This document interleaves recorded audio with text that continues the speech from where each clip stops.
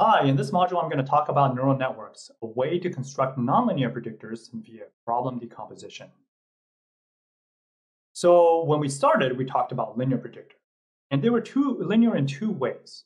First is that the feature vector was linear, function of x, and the way that the feature vector interacted with the prediction was also linear. This gave you rise to lines. Next, we talked about nonlinear predictors, but keeping the same linear machinery, but just playing around with the feature vector. And by adding terms like x squared, you could get quadratic predictors and so on. So now what we're going to do is we're going to define neural networks where we can just leave phi of x alone, the feature vector alone, and play with the way that the feature vector uh, results in the prediction. And that will allow us to get all sorts of fancy stuff. So let me begin with a motivating example.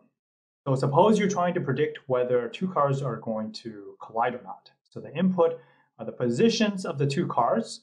So x1 is the position of car 1, and x2 is the position of car 2.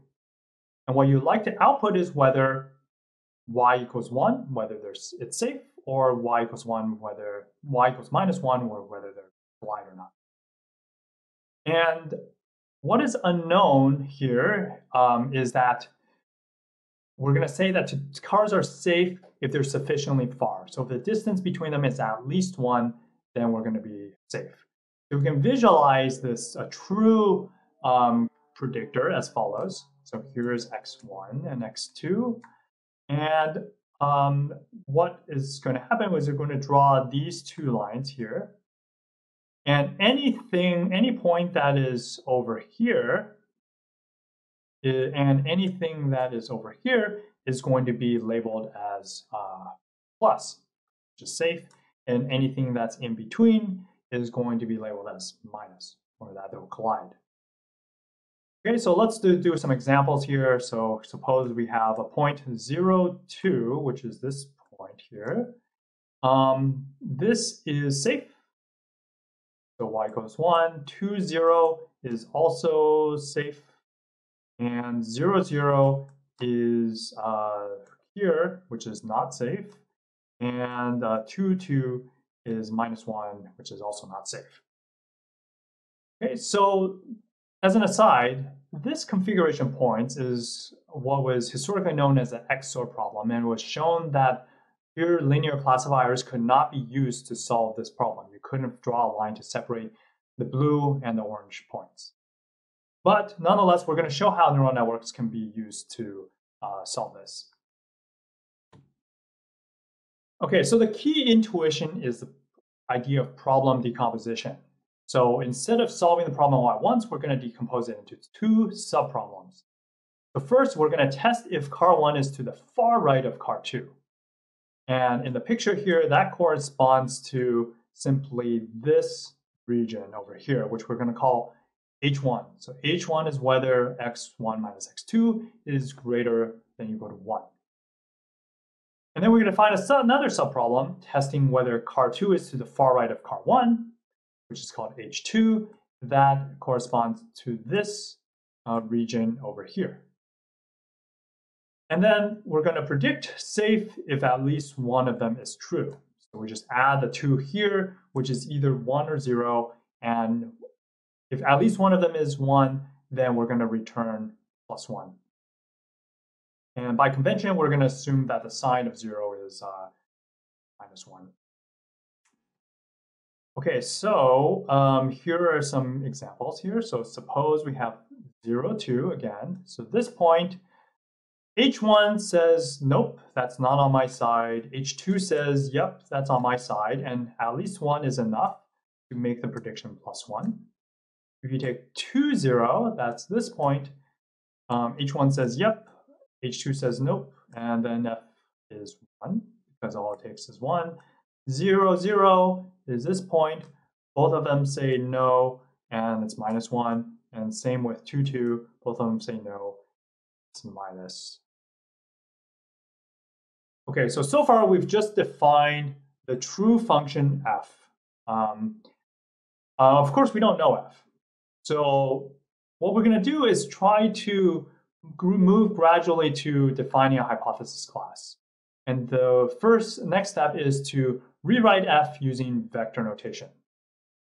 So here are the two intermediate subproblems, and the predictor is f of x equals the sign.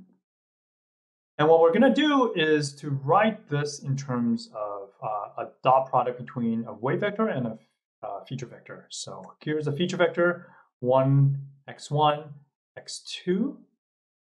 And then we're going to define a weight vector, which is minus 1. And if you look at the dot product, it's going to be so it's minus 1 plus x1 minus x2. And if that quantity is greater than 0, then we're going to return 1. Otherwise, return 0. And you can verify that this is exactly just a rewrite of this expression. And similarly, if you reverse the roles of x1 and x2, then you can rewrite xh2 as uh, in vector notation as well. And now what we're going to do is we're going to just combine h1 and h2 by stacking them. So we're going to define this matrix, which is just the two weight vectors here stacked up. So we have two rows here, and we're going to multiply this matrix by the feature vector. So remember, left multiplication by uh, a matrix is just taking the dot product with each of the rows of that matrix. And now this produces a two-dimensional vector, and we're going to test whether each component is greater equal to zero. So in the end, h of x is going to be a two-dimensional vector. Okay, and now given that we can rewrite the predictor as simply the sign of the dot product between 1, 1 in h of x, which is simply the sum of the two components. So now we've written f of x, which is the true function, in terms of uh, a bunch of matrix or vector multiplies.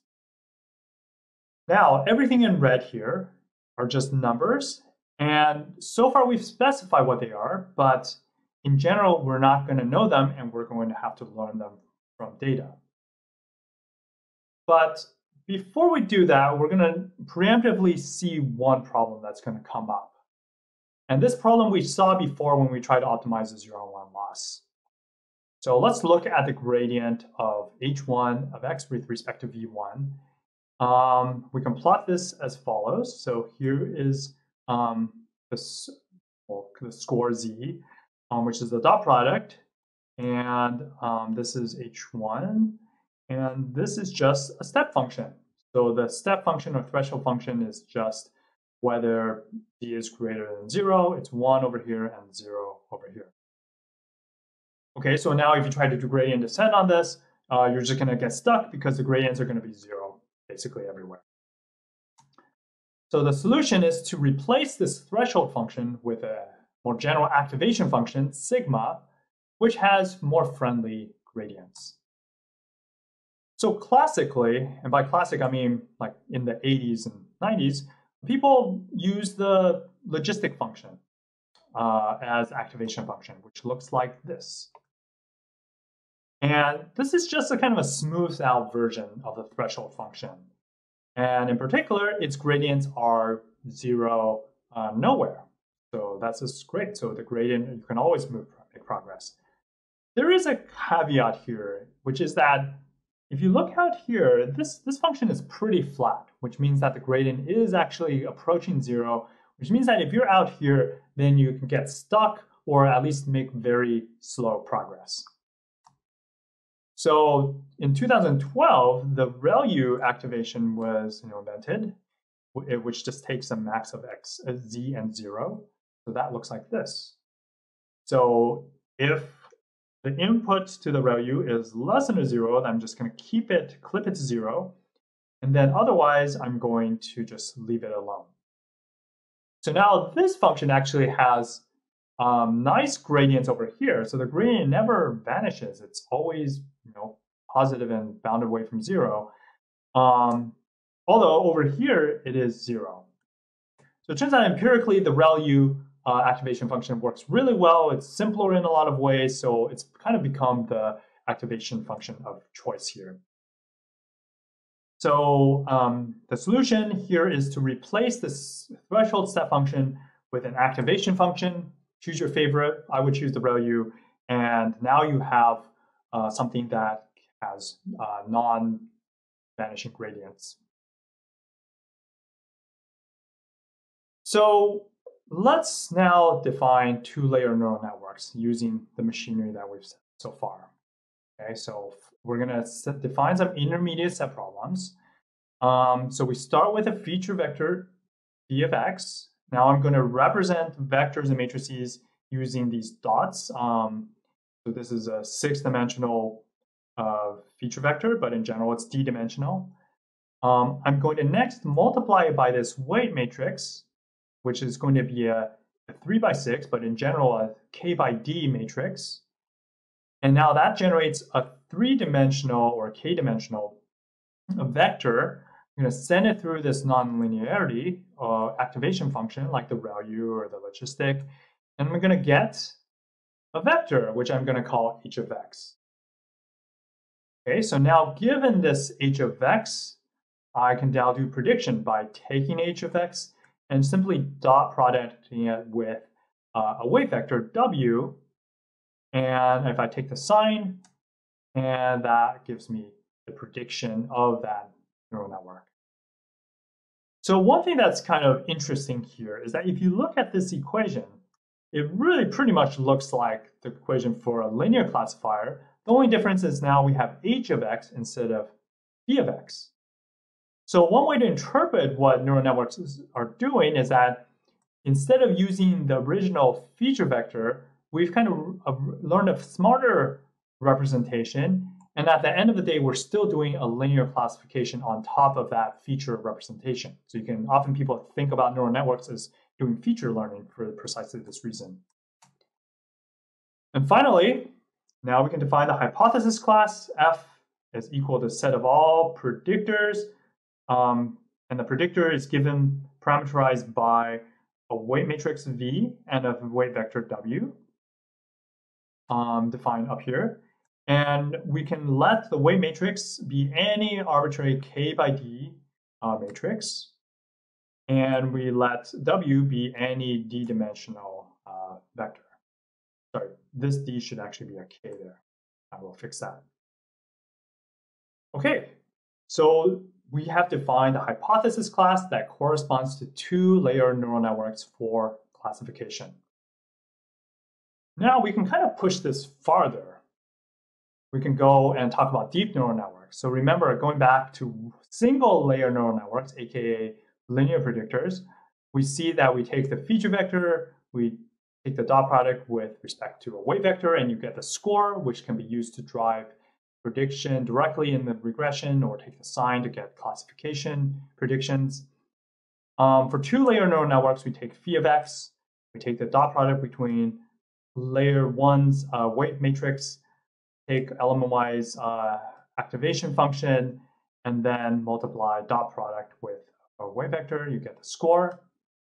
And now the key thing is that this piece, V, apply V, and then apply sigma, you can just iterate over and over again. So here's a three-layer neural network. Take phi of x, which is a feature vector. You multiply by some matrix V1, take a nonlinearity, uh, multiply by another matrix, take a nonlinearity, and then finally you get some uh, vector that you take the dot product um, with W and you get the score, which can be used to power your predictions. So one small note is that I've left out all the bias terms uh, for notational simplicity. In practice, you would have uh, you know, bias terms. Okay, and you can imagine just iterating this um, you know, over and over again. But you know, what is this doing? It it's kind of looks like a little bit of abstract nonsense. You're just multiplying by matrices and sending them through nonlinearity, and you hope something good happens.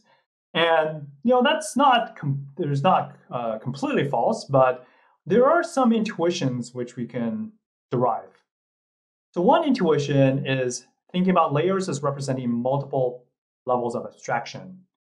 So in computer vision, let's say the input is uh, an image.